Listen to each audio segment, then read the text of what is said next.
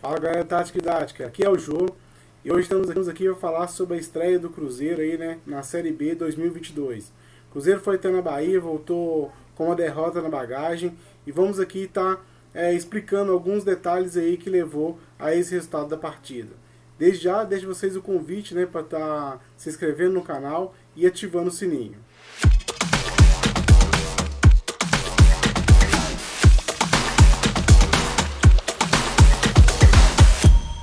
Começou essa partida né, com o Pedro Castro, aí, com o Vagninho e com o Vitor Leque, é, ele não estava contando aí com o João Paulo e o Vitor Roque só pôde jogar alguns minutos finais da partida, está né, tá com desgaste.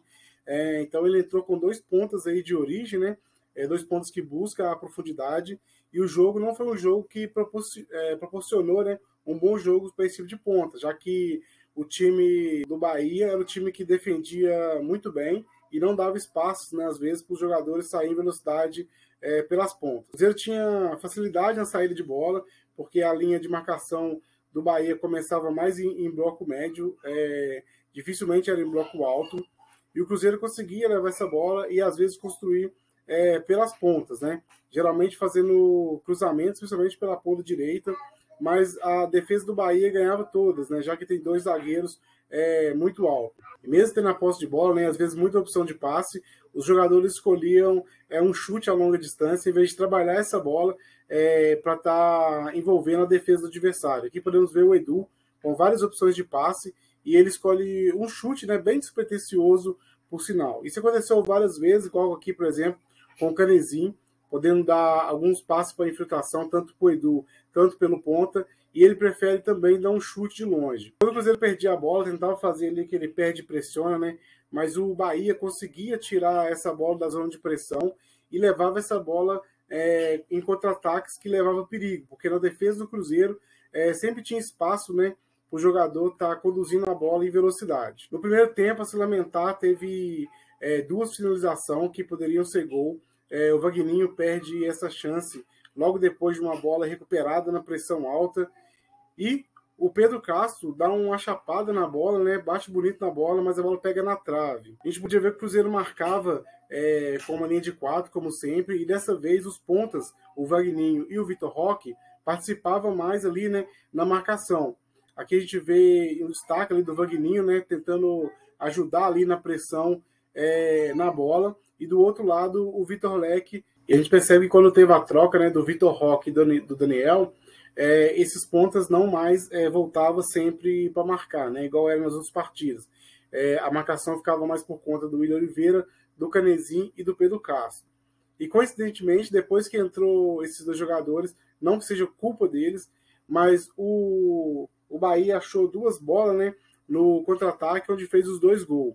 No primeiro, a, uma ligação direta do Brock, o Brock tenta achar o Edu lá na frente, né? O time não estava é, preparado ali para disputar a segunda bola.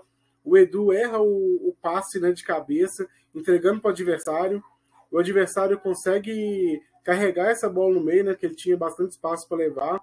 É, coloca a bola no ponta, o ponta leva a bola é, na, na amplitude até cruzar na área no segundo pau, e o jogador no segundo pau faz o, faz o gol, né? Aqui tem vários erros assim que a gente pode destacar, igual por exemplo, o lateral é, esquerdo para de correr, né? É, a bola passa ali entre as pernas do Pedro Castro no, dentro da área, mas o principal aqui eu acho de que teve de erro, o Cruzeiro forçou, né? Ali uma jogada por cima no ataque, entregando a bola para o adversário de forma fácil e fazendo o time ter que marcar é, correndo para trás. Né? A gente sabe que é bem complicado. O segundo gol foi a mesma coisa. O Canezinho tenta um passe, ele erra o passe, entregando a bola no pé do adversário. O adversário é, aciona né, o ponta. O ponta põe a bola para correr novamente e consegue se livrar até fácil do Romulo ali, né, com um drible longo, finaliza ali da entrada da área e o Rafael também aceita, né? Foi mesmo sendo um chute cruzado, né, e bem no canto, acredito que um, um passo ali para o lado, o Rafael conseguia estar tá pegando essa bola. Resolver né, tanta saída e velocidade do Bahia, né, muita é, saída e contra-ataque. O Pesolano colocou o William né, como terceiro zagueiro, o Wagner já tinha entrado no lugar do Oliveira. Então o time ficou com uma linha de três ali, o que suprimiu por, por um bom tempo ali os contra-ataques, né? Conseguia é, se recompor melhor.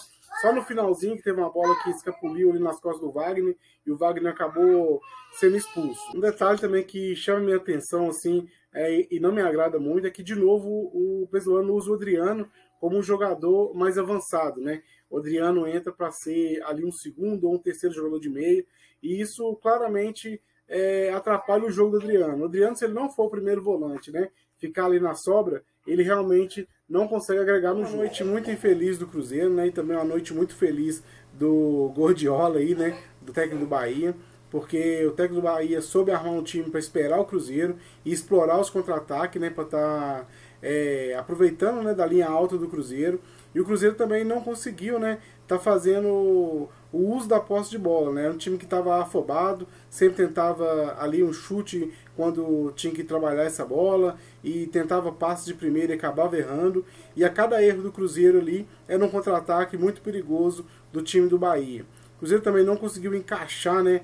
É, a marcação alta. E a gente sabe que quando o time tenta fazer a marcação alta e não consegue encaixar ela, muito por mérito também do Bahia, que sobre alargar o campo ali, sobre ter jogadores que saíssem dessa pressão, isso acaba com o time que tenta fazer essa pressão, se não consegue roubar a bola, ele sofre né, com a sua defesa tendo que correr para trás.